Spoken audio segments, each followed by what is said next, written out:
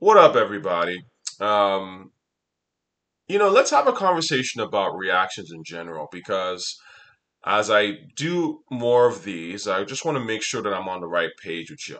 Okay. Um, I don't mind doing more reactions, but it's not as easy as you think in the sense of figuring out what's best for the channel. Let me explain what I mean. So, as I have this Tochi RTA channel that I've set up, and it's really sort of hip hop commentary. I've got my Where to Start uh, series. You're not the only one who, thinks so and so sucks series, and just sort of general um, commentary, right? So, and I do like that mix. And so far, when people come through, they're like, "Oh, like I like that there's a variety of things," and uh, obviously they like the discussion, they love the comments, and y'all, you know, saying intelligent stuff. So my point is, my one fear is obviously turning this into just one giant reaction channel. Uh, I do follow one or two reaction channels, but at the same time, I kind of feel like reactions, just reaction, reaction, reaction can get old. So that's number one. That's one thing that I, I do worry about. The other thing is that, truth be told, reactions, most of these reactions are getting blocked. Like, I mean, if I try to do a reaction, like, I mean, I'm getting copyright strikes everywhere.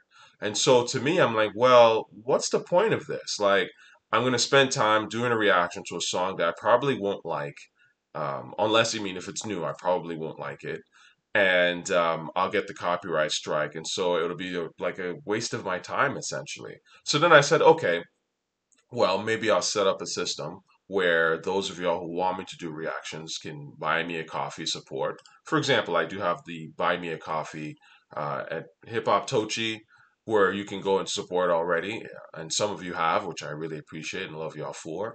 Uh, so I'm thinking, okay, well, maybe I just do like if you send me three coffees or something, for example, then I'll do a reaction to whatever you suggest, which is also fine. So that makes it somewhat worth my time and you get what you want. But the problem with that too is that um, I followed, I remember there was a kid, Guap, uh, he was like a youngin, and he was sort of discovering, quote unquote. I mean, he might have been captain, but he was discovering like older great rap and just reacting to it. And I was really into like his reactions. I thought his instincts were on point, and uh, it was interesting to see a new face doing this stuff. But the point is, as he started reacting to the great shit and classics, and his channel started to explode. Uh, for those of who probably know who I'm talking about.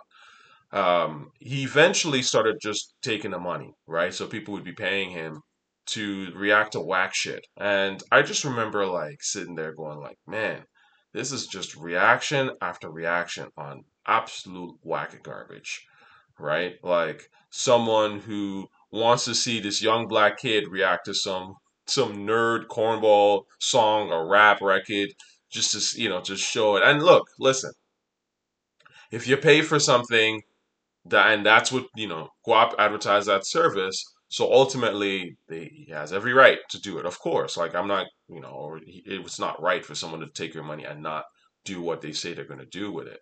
But the point is that um, I do think that it kind of killed the momentum of his channel, in my honest opinion.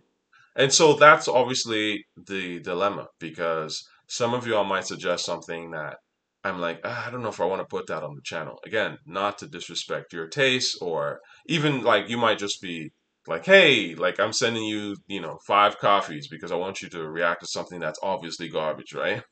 For the comedic factor. I mean, but that might be you, but do the rest of the channel want to see that? I don't know. So I do need some guidance on that, and I'm coming to you guys before I set this up. So I would love your opinion. Okay. So anyway, back to regularly scheduled programming. Now LL has this new song out called Saturday Night Special. I see that Rick Ross is in the song, so automatically I think this is going to be a whack song. I'm sorry. Um, Rick Ross has no business in the song with LL. And it's, I don't know how to say this, but um, whenever I see Rick Ross's name, it's, it's, it's a low quality name. And with LL, because LL hasn't released in, in a while, so he wants to seem like he's sort of current, but obviously he's not going to do like he can't afford to get a Playboi Carti or a Glorilla or you know like the he, like he can't afford to do that. So what he's going to do is he's going to go with um, who's current, quote unquote. um, who seems of the new school, but is you know obviously you know willing to get on a record with an old cat who wants the association with greatness, you know, Dick Rider shit, and that's Rick Ross. Rick Ross is that to the T. So I already know it's gonna be fairly lazy. Fat Joe, um, I like Fat Joe here and there. Um, not somebody that I listen to or the Prodigy. but again, you know, that's no real shot at Fat Joe. But Fat Joe's never been a guy. I've never owned a Fat Joe CD in my life.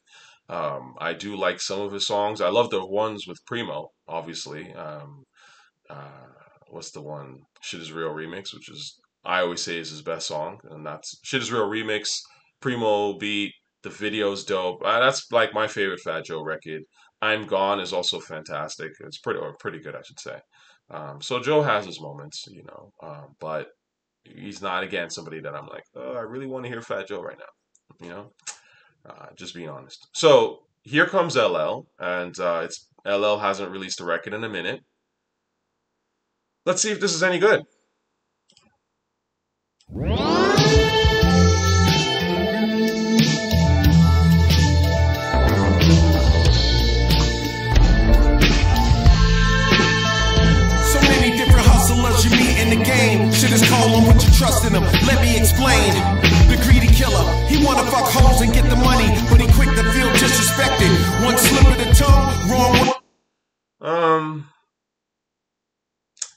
Crazy about this beat.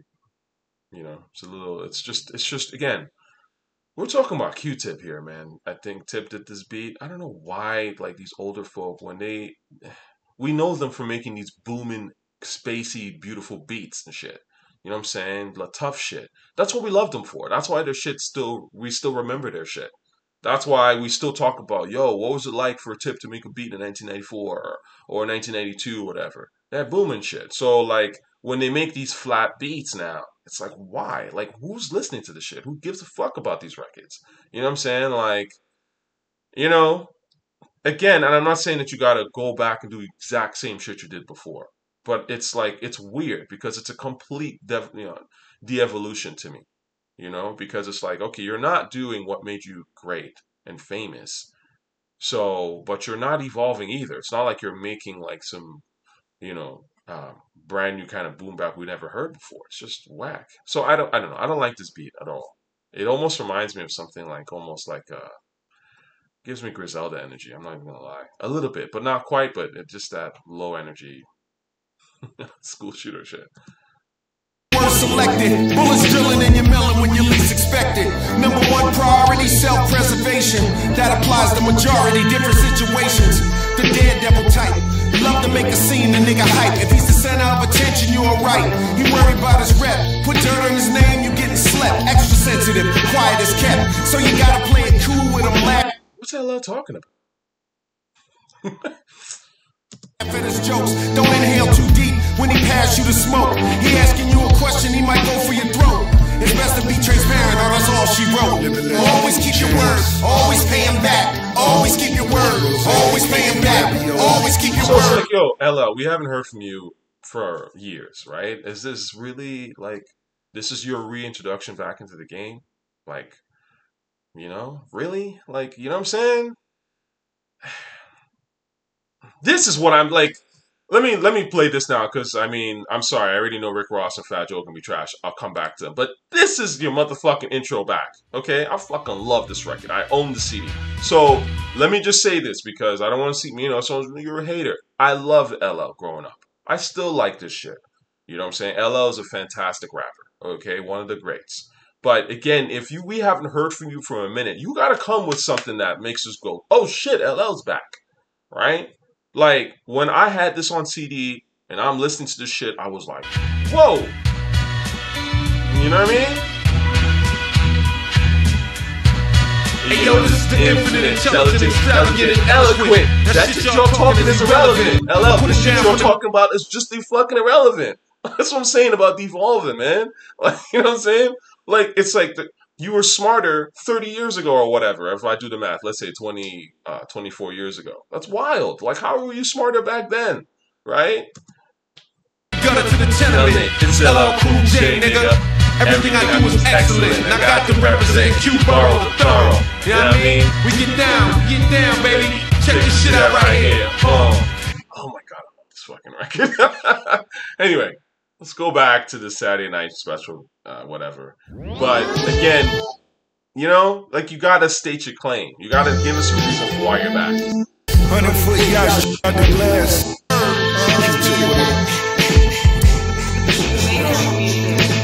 Living like a Maybach boredom. I'm not a fan. You guys already know. I'm sorry. It's it's. it's Sipping V on under glass, million on the wrist, quick skip about a rap. Corvette club waving Maybach flags. Hundred foot yachts, jumping waves, running laps. Really just wanna smoke, really just wanna peace. The niggas who want the mo- Rick Ross is just there. This is my problem with Rick Ross. Vocally, he's just there. He's that nigga that's just hanging around. You know what I'm saying? Like, you know, like when cool shit's happening and there's like a like a lame that's just there, right? And like, you know, he just wants to be in the video, or picture, or whatever. Like, I'm sorry. His vocals have no energy to them. There's no weight to what he's saying. There's no weight to the way it feels. It doesn't even freaking. I don't even know if he's on beat. Like, you know what I'm saying? Like, that's how much I just I'm not a Rick Ross guy. I don't like his voice at all. It's it's just not my thing, man. Oh, somebody in with the least. And then if I start to even think about it, I don't even want to think about the fact that his name comes from a real person, a real drug dealer, which he's not. He's a cop. Biggest fraud in rap history? Shorty just broke I put it all in the book, praying that she can read. Really, are you a G? Niggas just wanna see. I'm running the numbers up. I feel I'm still in the league. Tentacles in the streets, criminals getting cream. The seven series new beamer, really it's not a thing. Always getting the money, still hustle the max. Always keeping it real, always getting it back. Okay. Um, I haven't commented on the video yet. Um, I'm not sure what LL's wearing with those pants. Um, but from what I understand, I mean, I think the new school, like I mean, Drake and even Rocky, I think they were trying to, in the last year or so, trying to bring back the baggy look, sort of. Um, so maybe again, LL's trying to show, look, I'm current, I'm current with the fashion, right? Um, this video is very boring. It really is. It's in black and white. It's like one set. Um, again, I don't want to compare this to older shit because everyone's be like, you compare it to older shit. But it's like, again, this is the kind of stuff that's disappointing as a hip hop fan, where it's like, I've seen this type of setup before, and it was done way, way better. Even fucking high definition by Rick Ross, which I actually do, I think the song's decent. I mean, it's the same sort of thing. Car, I don't know if it was in black and white, I can't remember but it was a little bit more dynamic even than this. This is like real low budget shit. Obviously, one of the greatest black and white videos, in my opinion, with with a set and all that in, in hip hop is "Drop It Like It's Hot." I mean, that's that's the classic to me. That's the standard that all these guys are trying to chase. Um, and that was done by Paul Hunter, I believe. Shout out to Paul Hunter. That was that was a brilliant fucking video, man. Really, really sharp and brilliant. Took the track to a whole nother level for sure, for sure. So again, it's like okay, the song isn't great you know, the video is lackluster. Uh, Bitches come with the thrills. All I want is the cash. My niggas still on the rise. Why I'm charging the tax. Always keep your word, always paying back. Always keep your word, always paying back. Always keep your word. Then there's the let me fix my fucking sound out here. boss player. He got a shrewd And it's fine. You know what? I didn't hear anything Rick Ross said anyways. It's all muddy, so fuck it. Picture, he patient with disrespect. He always keep his word, but there's pressure when he collect. He keep the blicky close, he's smart when he invest. Stay away from his hoes, that'll keep you out the mess. He act like you treat him cold, but that is just a test. Keep your jokes to a minimum when wifey is around. Remember, he's the Yo, I'm man. gonna be honest with you. Like, typically, if I'm just consuming tracks for my own self, like I would have heard the first five seconds of this and like not continued, um, because I don't like the song. I already know I don't like this beat. Nothing about it strikes, you know, like even though the moment I would have heard LL rapping, you know, oh, always paying back or whatever, I would have been like, yeah, I'm done with the song, and I wouldn't have continued. But because I'm reacting to y'all, I'm listening to this whole thing. But yeah, this is not good. And fuck how it sounds. Give you the shirt off his back. Cross him, that. Yeah, always keep your word. Always. No, I will say this though. Um, LL, I respect LL for maintaining his shape. Um, you know, staying in shape and all that. I, I think that's very, very. You know, LL looks healthy. I will say, um, and not even so much in a roid way. I don't think he's like roiding up or whatever. But he seems like somebody who does, who knows like his appearance is important. It's part of his image, and he's like been taking care of that this entire time, and I respect that um, because that takes like some real dedication. So, you know, it it if you still look young, right? Then you know, hip hop is visual, so you can make young music if that makes sense. Um, and even if you looked older, to be honest with you, I would still listen to rap because again, rap to me is about the music and not so much the visuals. But it certainly helps if you look a little younger, right? Um, too bad the song itself is you know not young in the sense of um, having that youthful like energy and spark and imagination, right? Always pay him back. Always keep your word. Always pay him back. Always keep your word. Always pay him back. Always keep it real. Always like. Buck kicks like a teacher. Just flew a mini mansion in Atlanta on some sneakers. I brought the purses to the verses. Big body and shit, big boy hearses. Staying careers like windows in the churches. Brought the trap, the Sunday service. Always gauge, always had the Mac. Always move weight, always move the pack. Always keep the word, always it back. Always keep it real, always like crack. Always keep your word, always pay him back. Always keep your word, always pay him back. That was a bit lazy from Fat Joe. Fat Joe can do better than that. Um,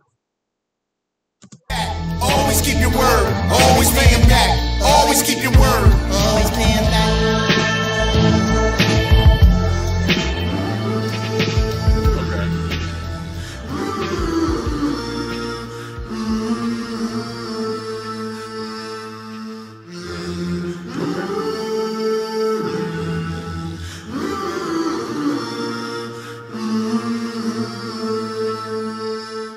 I can't say that I like that ending either. Um, personally, I would have added that, or if you were going to bring that in, um, I would have added it like throughout the track to give the track because the beat is kind of one note to me in a sense. Um, it's interesting because it reminds me of like something uh, similar to when J. Cole was doing Grippy, that whatever. Um, and I'd said it's Travis Scott, but really, in a way, it's some Kanye shit. Um, when I think about it, you know, because all these guys are kind of uh, you know, devolving, or I should say, they're cloning each other. But um, it, it, I don't remember my beautiful dark twisted fantasy, but I feel like that was kind of that era, um, and sort of like that sort of um, uh, Kanye approach. So yeah, I mean, uh, anyway, what can I say? I don't care about the song. I'll never listen to it again. Okay, but uh, I appreciate y'all rocking with me, and uh, I hope y'all have a wonderful rest of the day.